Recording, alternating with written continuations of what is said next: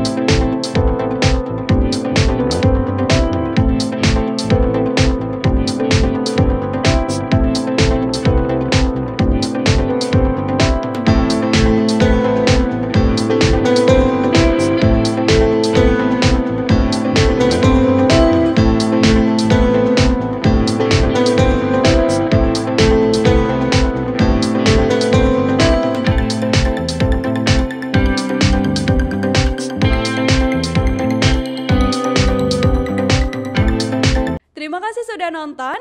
Jangan lupa like, subscribe, dan share ya.